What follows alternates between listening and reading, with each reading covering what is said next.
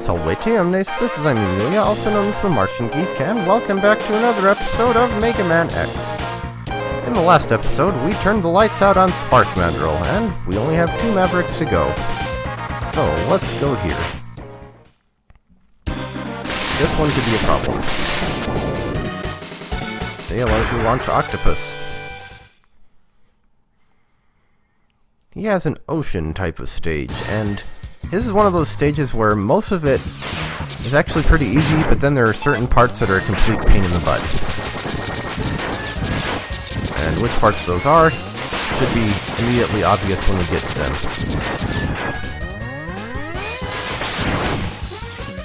He also has kind of crappy stage music, in my opinion.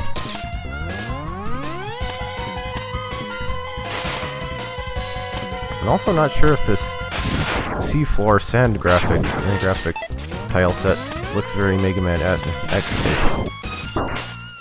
Hello, seahorses. You just wanted a hug, didn't you?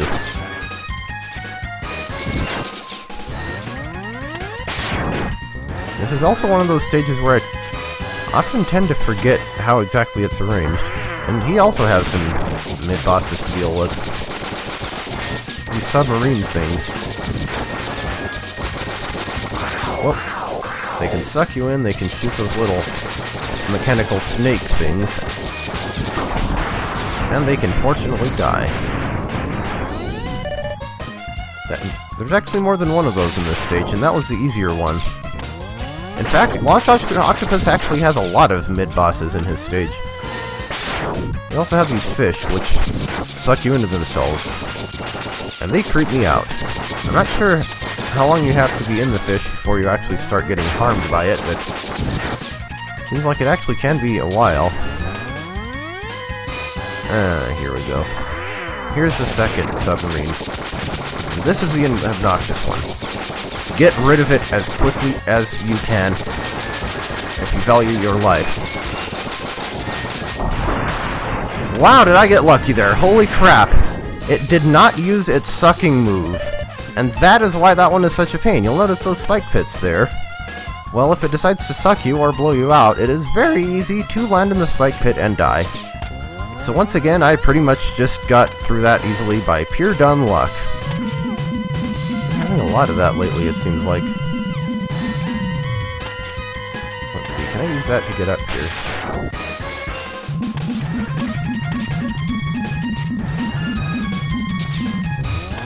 Yeah, got some water spouts going on here. I believe... I want to go up here, where we find yet another mid-boss. I think this one's entirely optional, though. Kind of annoying, but optional. Shoots out these sky claw things and bombs.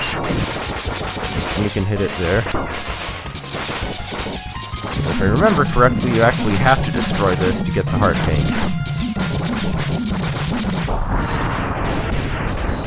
Well, generally, where there are sub-bosses, there are opportunities for button mashing. Also, lag!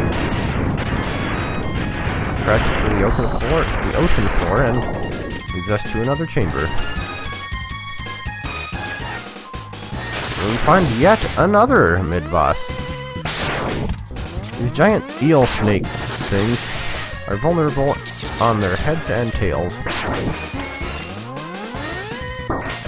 Which are also the only parts that can hurt you. You can actually ride on them like this.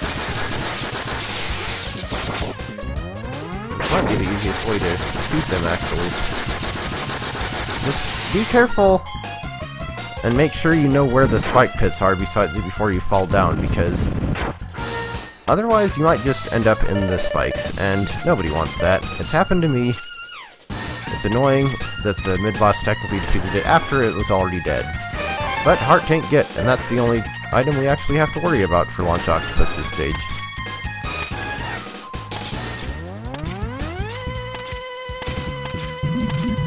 Well, I think, fortunately, other than, we're done with all the difficult parts of Launch Octopus's stage, other than the boss itself, anyway. Pretty smooth from here on out. Honestly, there's not a whole lot to this stage. There's a lot of... There are a lot of sub-bosses, and there's another one of these things. This one I think is more time consuming to do than the other, but it's still pretty easy.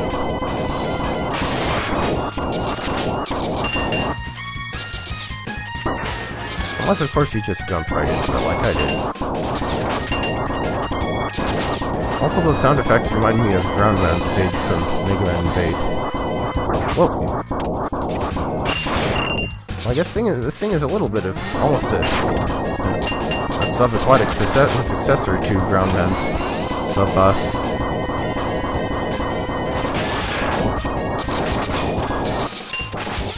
Geez, I think the sub-bosses in this stage sometimes take more hits than the actual bosses.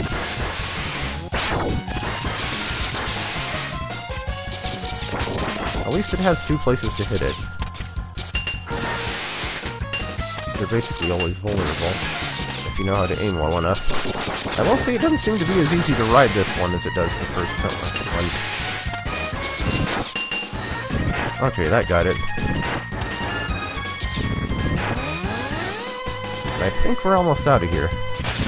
Just a few more of these weird dopey fish to deal with. And it's boss time. I don't like Launch Octopus. I don't remember how annoying he is compared to um, the other three bosses in the second half of the Maverick lineup. But I remember him being pain.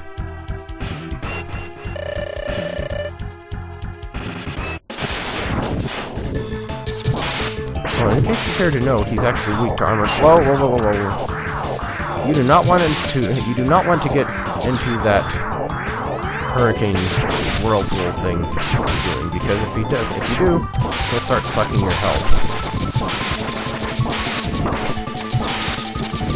The main problem with this guy, honestly, is he, the sheer number of projectiles he spans.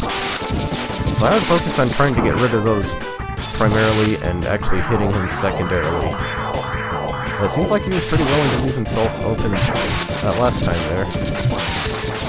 I think... I'm not, I'm not, I'm not sure if it, uh, the distance you are from him matters when it comes to determining which projectiles he shoots. Interestingly, you can actually use Boomer Kuwanger's weapon to cut off his tentacles and stop him from doing the sucky move, but that one's really easy to dodge, at least if you have dash boots, I suppose. And that guy actually didn't end up giving me as much trouble as I'd expected. Once again, maybe I just got lucky. Like I said, with that boss battle, at least especially if you're not going for, well, maybe even if you are going for no damage, I would focus on getting rid of his projectiles before worrying about him. And we have the Horming Torpedo. Yes, obviously that was supposed to be homing torpedo, but it's a typical homing missile type of weapon. And speaking of weapons, I forgot to show off Spark Mandrill's weapon, but oh well. 3576-2566-5218. And with that, we only have one Maverick to go. And we will deal with him next time. So I'll see you then.